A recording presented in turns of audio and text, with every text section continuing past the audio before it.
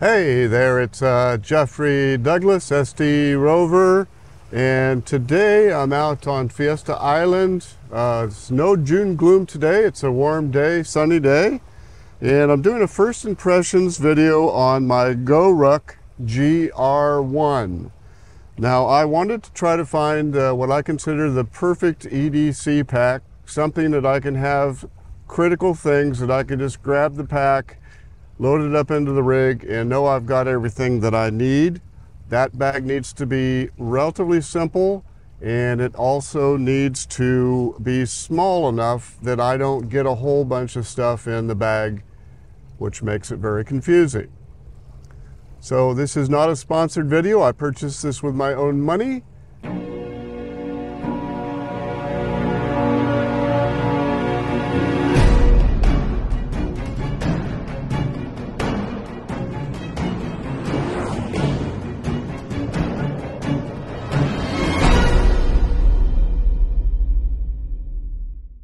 So this is a new revision of the bag which has a couple of new features. One is a quick access here in the top. I keep a Olight flashlight and also a headlamp.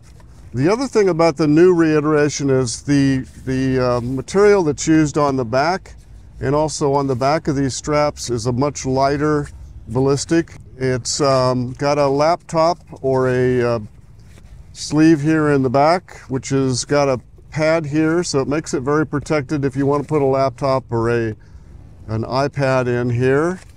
Uh, one thing you have to do is kind of get these straps out of the way. So previously what I did was I used a uh, Vanquest uh, pack. I'll put a picture here of what that pack was. It was a really good pack, not to the level of uh, construction that this is. This pack is made in the USA but uh, still a really great pack, uh, more affordable, obviously. But the problem with it is it had so many pockets and zippers and places to put stuff that when I got to it, I didn't really remember where this was or where that was.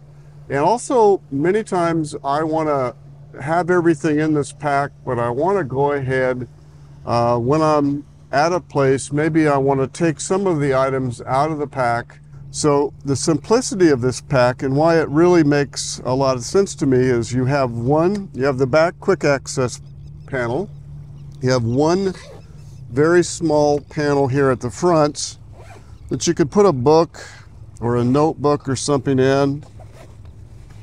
I don't put a lot in here because it gets a little difficult to uh, to get at, but I have a Rite in the Rain notebook.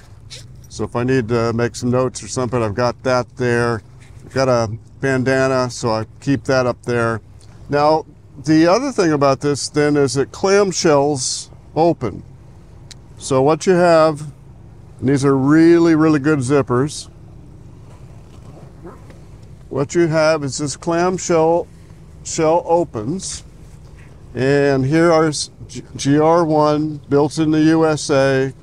There's two pockets here, one at the top. I keep um, stuff I want to make sure I don't lose up here.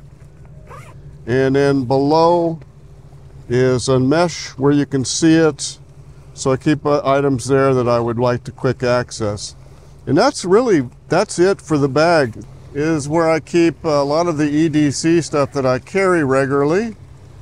And you can see here We've got um, a, a multi-tool, got the uh, Raptor scissors, got a uh, lighter. Normally I have my Benchmade uh, knife in here. Got a little bit of a, you know, plug-ins and cords and stuff like that that I would have as extras because normally I also would carry a, um, a bag that has all of my cables and battery packs and stuff like that. And, and really the benefit of this kind of system is you can, um, you can choose what you want to have in the pack and then you can take out stuff that you don't want to have in the pack. The nice thing about the GoRuck pack is it does have MOLLE and uh, you can pull these out and then you can all you can go to the outside of the pack and MOLLE this on if you want to have extra storage inside the pack or you can also there's some um, there's some MOLLE at the back of this pack, which I'll show you when we unpack it.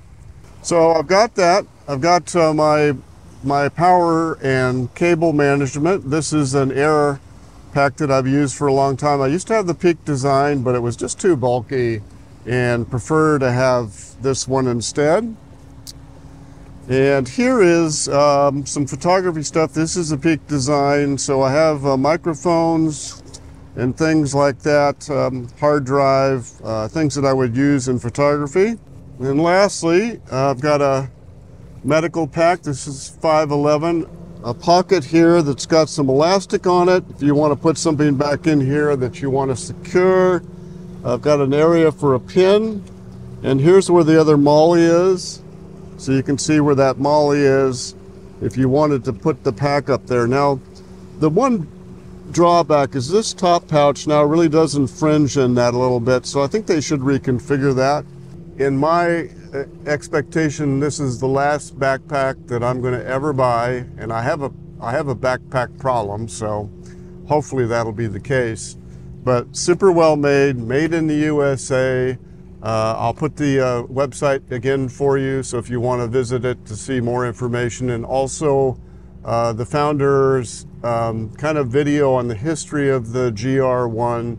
They also have a lot of other packs as well, including packs that are designed for rucking, uh, so you can take a look at that as well. Everything's top drawer, highly recommend it. So if you found this video helpful, uh, please consider a like and subscribe. And uh, remember, get outside. It's a beautiful day.